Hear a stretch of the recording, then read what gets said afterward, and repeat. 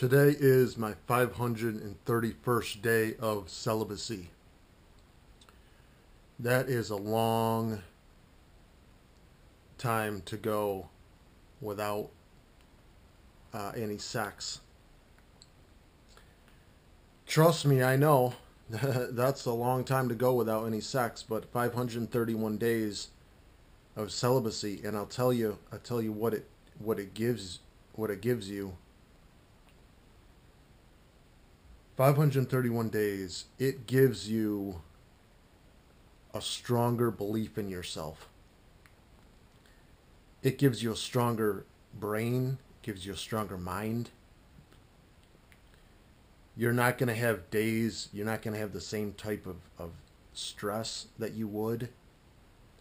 You're going to be able to blaze through things that you normally wouldn't blaze through. I tell you, the other day I, I, I got very very tempted into just saying I, I just I just want to do it. I just I just want to I just want to jerk off. And I I, I started thinking I, started thinking man you know I'm like you, you'll be able listen you'll be able like with my knee injury. The only way that I've gotten through this knee injury is because I've been able to be celibate. It's I I, pr- I promise you you don't understand like what I've been through. Mentally it's it's just like it's it's an extreme thing to go through. Anyway the other day I, I was thinking about I was thinking about breaking it. And I and then and and in my head I started thinking okay wait a wait a minute wait a minute. Before you do that for you know 5 minutes of pleasure think about think about the other times that that I've done it where I look back and I say, man, I, I regret, I regret doing that because it can literally take me at least two weeks to start feeling like, like getting myself back to how I used to feel where don't get me wrong. I mean, it won't, it won't kill me. It wouldn't kill me. But I would just, I would just, I would be just be in a miserable mood for a while. Like I would just be like, I, I would literally be like, man, why why did you do that to me? Like now I'm now I'm really really grumpy. Like now I'm really really grumpy. And the thing is is I, I just started thinking I'm like, yeah, don't don't do that. And I just uh I stopped, you know, I stopped uh thinking about that. I stopped messing around with myself to be completely honest with you. But uh yeah, it just it just gives you a lot stronger control over your mind when you don't when you don't jerk off. And I'll tell you another advantage uh, that it that, that it gives you. Your drive and determination to get through things is so much stronger when you are harnessing your sex drive. It's all about guys listen. Sex energy testosterone drive. Think about it. It's energy that is in the body. It, the energy can make a baby. So it's like you ever notice how like after you jerk off, you just your motivation is just shot? Of course it's shot. You just drained you just drained your life force. So bring you over here. So when you another another advantage another advantage of it is that now with my knee injury, it does make it harder for me to like try to try to line up dates with girls. But I have been on I've been on two dates and I'm trying to like line up more dates this winter. Winter's almost over. But still uh, the power of celibacy to find real women attractive is is is, ama- is amazing and you can i mean you can discover a part of yourself.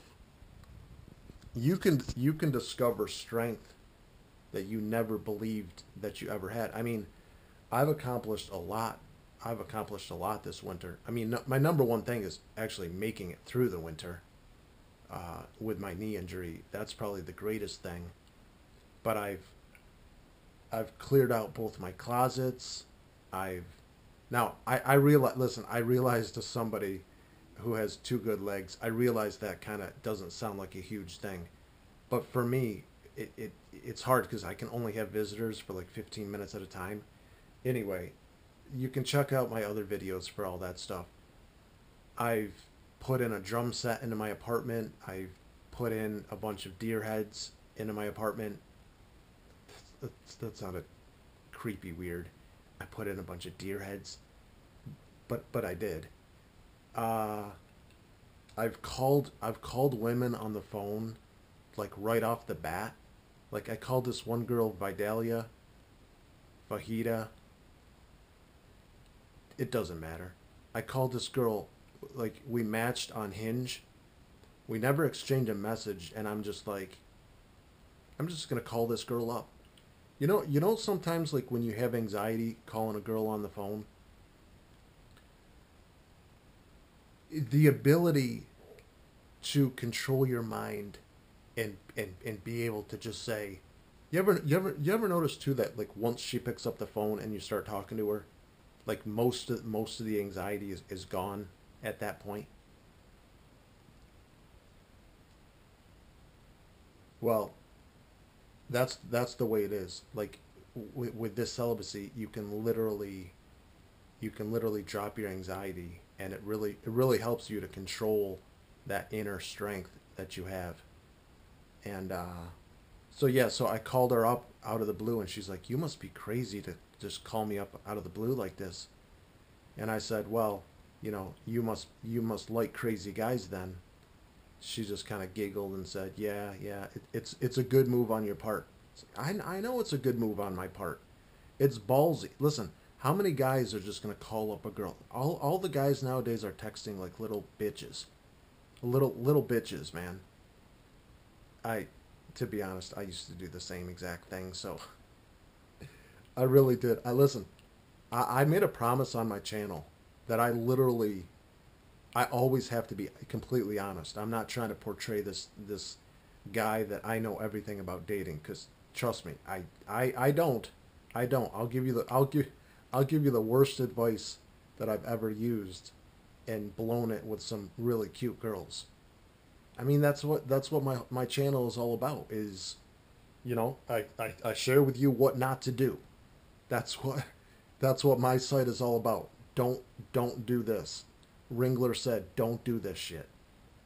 I have. I, I you know, I blew it with Christy. Christy was amazing. Christy was amazing. Amazingly cute. I don't know about her personality though. All right, any anyway, guys, listen. Try celibacy. Try it. Try it for 3 days if you can't do it for three days, you're you're in some serious addiction shit. You know, if you can't if you can't keep your hand off of your rod for three days, you're you're in you're you have some coping mechanism going on there. I, I guarantee you. And the best coping mechanism is through God.